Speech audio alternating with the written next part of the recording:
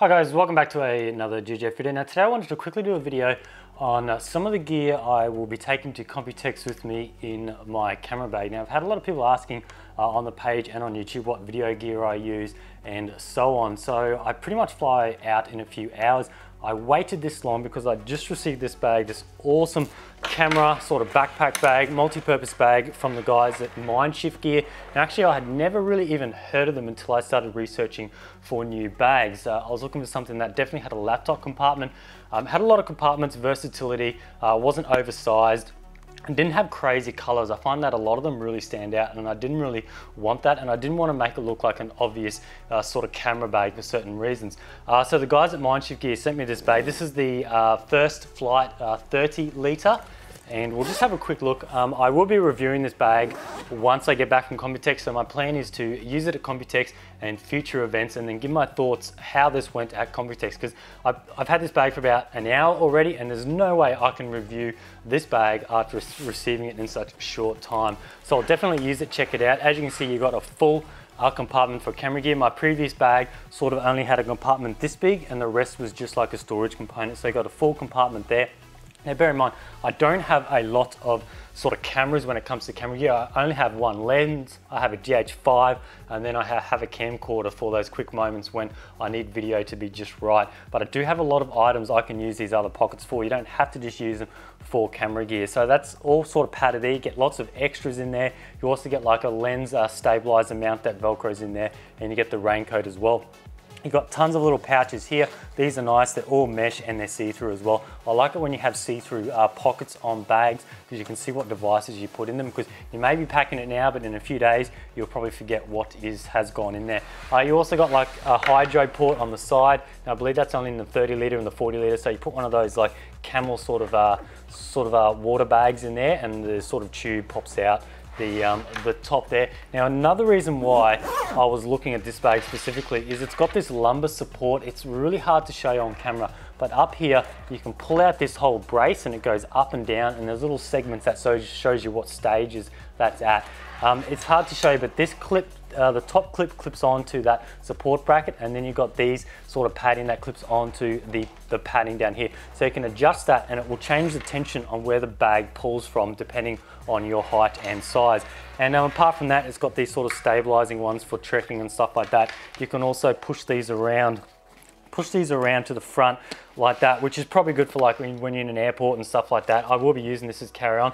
You don't have these big things flapping around. But apart from that, the padding overall is just insane. You've got so much around here. And that's a big problem I have with backpacks is the padding. And then of course, another feature I like is having the, uh, the side sort of hand strap and it's got the one on top as well. I think having the side on is a nice sort of touch as well. And then you've got a heap more pockets all over it, but I won't spend too much time on that because I will be doing a full review once um, I've come back from Computex. Now let's look at the camera gear that I use. Now I can't show the camera I'm recording this on because obviously I'm recording the using the camera now, but um, I use the GH5 of course. Now main sort of benefits for this is you get the 4K 60p uh, which is really nice and you pretty much got the dual SD card recording which I use. I have two 64 gig um, Extreme Pros. I've got a 32 gig one here for my camcorder. Yeah, so then 95 uh, read and 90 write, which is plenty enough for 4K uh, 60p. Uh, I only have one lens for it. I picked up the very, very expensive. This is the Panasonic Lumix G.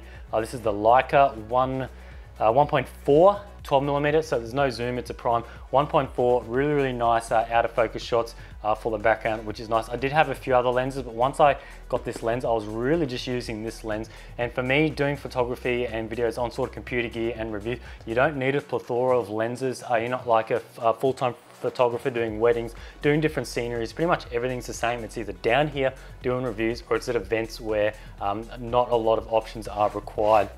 So that's the, um, the main camera gear I use there. Pretty much 99% of my videos are done in that. Then I have a Sony, what's this one? This is the uh, FDR AX53. Um, it's not a bad little unit. Um, the video is nowhere near as good as say like a DSLR or the Micro Four Thirds like the GH5, but it just gets you that video when you want it to be 100%, um, whether it's just at an event, doing something quick. Um, I will tell you that autofocus on uh, camcorders, I've used a few camcorders in the past, is just um, is just awesome.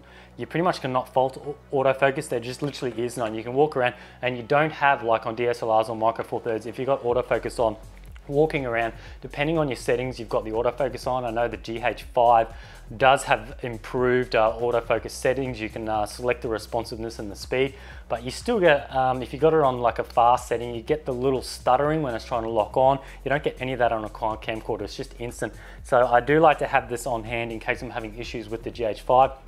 I can just pull this out and just walk around and I know I'll have a decent video, good enough for Facebook and YouTube and everything will be nice and in focus as well. Um, apart from that, it's got a really nice stabilizer. Once you pop open the uh, pop open the camera, turn it on, it's actually got a sort of a gimbal on the lens. I'll see if we can pick this up on the video, but you can see the lens is sort of moving around separate to the camera. That is a nice little feature as well. So stabilization is really nice on this camera. Now, speaking of stabilization, um, I recently picked up a, I think it's called a Zhiyun Crane, something like that. Um, just a gimbal, now this is one here. I needed a pretty beefy one because especially with the GH4 and that lens I got on, brings it up to about 1.2 kilos. I think this has a payload of about 1.3, 1.4. Um, the more you put on it, you're just gonna drain your batteries. Unless you're putting like five kilos on, it just won't work. But yeah, the, basically the more you're maxing this out closest to the payload or slightly over, the batteries will drain out. Um, I haven't tested this fully for a long amounts of time, but they say you get about six hours or so, and the batteries just sit underneath. You have two of them that go in there. Um, I won't turn this on now. You're not meant to turn it on without any sort of payload on it. But um, from what I've been testing this out, it is a nice little unit. It connects to your phone. You got full control through your phone. You can check the battery. You can calibrate it on your phone. And on the back, it's also got like a little joystick so you can control the pan axis and some more axes just by the little knob on there as well. So I'll be definitely testing that out at Computex. I'll be pairing with the GH5. The GH5 does have pretty good, uh, it's now got built-in stabilization from the GH4. So working these together should give you really nice smooth video, especially when walking. Um, I did try it with this just for jokes. You probably don't need a stabilizer, but problem with camcorders is it just did not fit on the mount properly. So um, I did use it, I just gathered it with some zip ties and it actually did work really well because this is really light um, and had no issues uh, running that as well. Um, let's talk about uh, audio. Oh, just before I do that, so this Zhiyun Crane comes with a very, very nice piece of kit. You've got the full box there, nice carry handle, and then you get, which I wasn't really expecting, because it's not the most expensive of gimbals out there, um, you get this nice little travel case. I may or may not take this because it's just simply so, uh, so sort of big and bulky, but it does protect it really nice. Uh, you can see it does fit in there, all nice cutouts, and just goes in there nicely. You've got a lot of little extra things, but when you think about it, throwing this in between your clothes compared to taking all this, it is quite a bit bigger. And um, especially when you're traveling overseas, kind of sometimes depending on who you're flying with, uh, your luggage can be uh, quite restricted on the weight you can take. Uh, moving on to our audio. Uh, this is the Audio Technica. Don't even know what model it is. This is the ATR 3350IS. I've used these for years and years now. This is what I'm using now. I always keep a spare one on hand. I think they're like 40 $50 from PC Case Gear. I just like to keep one spare because I've had issues where sometimes I run over it with the gaming chair, the cast wheels, and I do find them a little bit fragile where the audio ca or cable leads in and out to the control box and to sort of the mic head as well. So once that snaps, you pretty much can't use it it just sort of breaks internally as they are such fine little wires because you do get a six meter cable. Uh, so once it does sort of break, every time you move, you get this static. So I really keep a spare one and for 50 bucks, I just think it's worth that. Um, I'm not sure if that's just an issue on how they're made, but I'm assuming if I had any lengthy one here, it's just really hard to try and keep the six meter cable uh, not being stepped on and things like that. So I just keep a spare one of those and they just take a little battery, just slightly bigger than a watch battery, which is nice. Another audio uh, piece of gear I have here, I've been using these for a while. I think it's pronounced um, Boya, B-O-Y-A. Uh, this is like 130 bucks delivered Australian off eBay. I use these for, uh, don't really use them at home. I don't use like the, um, the shotgun, sort of the hot shoe or the cold shoe mounts like this on top of the um, on top of the camera. I much prefer to use like a lapel mic like this, but I have used these at events and I really like the idea of you can slide it out of the stabilizer and you can just hold it like a normal microphone. Um, so if you are sort of interviewing someone, it does come with a, which is nice, it comes with a, it is XLR only, but they have added a uh, XLR, if I can get this to plug in, XLR to 3.5 mil Yeah, so 3.5 mil to XLR. So GH5 has no XLR unless you buy the uh, XLR module, which is quite expensive. I can just run this 3.5 straight into the uh, into the GH5, and I can also extend it with other uh, with other XLR cables, which I do keep on hand. And it's just a nice little microphone to interview people. I did this a few times at PAX a few years ago, and the audio is really good especially when you're in like a large area where there's lots of crowds like PAX or Computex, there's a lot of background noise. Being a, the uh, condenser mic, it really just picks up what's around you, which is really nice. And it also comes with a, um, I'm gonna call them a dead, dead cat. It's got, I think I may have taken it out. Yeah, oh no, there's one here. So dead cat, it's kind of like the wind sort of protector. Probably don't really need that at Computex. Um, you're still gonna get slight bit of background noise, you can't help that. And then you get some extra accessories like some uh, spare sort of stabilizer bits because I've had on, um, not this brand, but other ones in the past, these do eventually corrode. And you also get a, uh, a little thing, a 6.3 millimeter plug to the uh, 3.5. But yeah, very nice little unit and it's just good to be able to uh, walk around and carry it like a normal broadcasting uh, microphone. Um, some other little things that I'm just sort of going to go through. I'm not going to go through everything. There's probably other things I have missed out uh, before. Uh, I just recently picked up this. This is the Peak Design Capture Pro. It's just a little clip. I saw it online and I thought that was pretty cool. It's a little clip to mount your camera on and you can uh, screw this onto your belts or your camera strap and literally once I say it's on your sorry your bag strap like this your camera can just clip in and then your camera can just hang on off your belt wherever this will clip on and then you've got a quick release and you just pull off your camera. Now I was a bit skeptical about how well it worked because I didn't want a GH5 with that lens just falling off, but pretty much everyone I've seen have not had an issue with a device just suddenly falling off. So I don't know if I'll use that. I think it was like a hundred bucks, but it's definitely something I will um, I will think about. It's um, it's going to be interesting because using a using a gimbal, um, they don't have a quick release mount for the gimbal.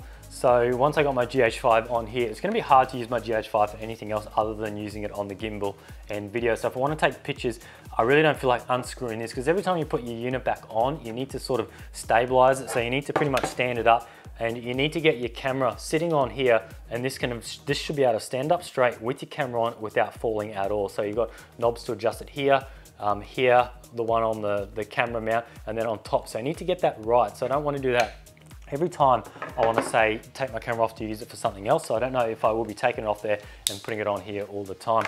Um, other things I picked up is a, uh, normally I just throw on a power board, an Australian power board, because being Australian, all my uh, power sources are Australian. I picked up one of these, I think it was like 40 bucks. It's the uh, Orico uh, sort of power board. They do a lot of things like USB, um, AC power things. So this is a two standard AC 240 volt um, plugs, 10 amps, and it's got one, two, three, four, five, one, two, three, four, five. I thought it had six, but it's got five USB. Now these all run at 2.4 um, amps, which is um, pretty good, pretty much one of the highest you'll get. And because I wanted USB, because a lot of things I have need uh, USB power only. So this is the charger for the uh, Zhiyun gimbal that needs uh, USB only. So I can chuck that in, uh, chuck that in there. My phone uses, uh, of course, USB to charge and a few other things. And just one thing to look at when you are purchasing power boards and things like that, just make sure the voltage range input is AC. So this is 100 to 250. So I'll be fine to plug this in uh, a, a, Taiwanese port. Just make sure you, um, you grab plenty of little adapters as well. So this will just simply go from Australian. Pretty sure this is the standard, same as US as well. And that'll just simply go in there. So now I've got two there and I probably shouldn't need any more than two, but I just throw in an extra one as well. So that'll give me three ports. So if I'm in the bathroom and I need something that needs standard Australian AC, and then I got this one that has the two here, so charging my laptop and things like that. Now talking about laptop, um, I do use a laptop and another thing that I really wanted for the camera bag was have a, a laptop compartment because I do take my laptop everywhere with me because I do edit a lot, lot, of photos and edit videos on the fly. So I've had this for a while now, it's getting pretty old. This is the Acer Nitro. Um, gaming laptop apparently. It's um, black edition or something, not sure sort of what sort of uh, sort of road they were going down towards that. But it is nice. It is relatively thin, which I do like, and it was really really cheap. I think about a year or so ago, I think I paid just over a thousand bucks for it. It does have a GTX 960M, of course, being the mobile, and it's got an i7, uh, so it does have the 8 core, 16 threads, and 16 gigs of RAM, which I wanted to. Most of the laptops around then only have 8 gig, and I do use this for all my videos, After Effects, and all that, which is nice. So it's a nice little BC laptop, being quite thin as well. Um, other things I throw in, just random adapter cables. uh, normally display port cables. Uh, I do have a few audio ports like male male 3.5, then male female 3.5 and also pack in a few of these extra or one extra of these figure eight AC cables. So things like your GH4 charger uses a figure eight cable and you might have a few other things that have um, that have the figure eight cable as well. But I think that's pretty much it on this video. I Just wanted to go through all the stuff I do have. The only thing I do don't have, which I would have liked, is the second GH5 battery.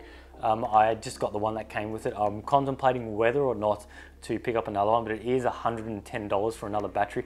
Uh, the battery isn't as good as the GH5, uh, but you'll still be able to get a few hours worth. So for me, I'm not constantly um, at Computex as media doing just full on day coverage. So I'll probably only be able to get a few videos in of a few boosts. Um, I am with Thermaltake uh, the whole time, so when I get a free time, I'll probably uh, jut over uh, companies like ASRock. I am using their board in my Thermaltake build and, uh, Zotac as well and things like that. So I'll try and do quick videos on their boosts as well. So I probably don't need two, uh, two full batteries as well. Anyway, that's pretty much it for this video. I want to thank you guys for watching and stay tuned for next time.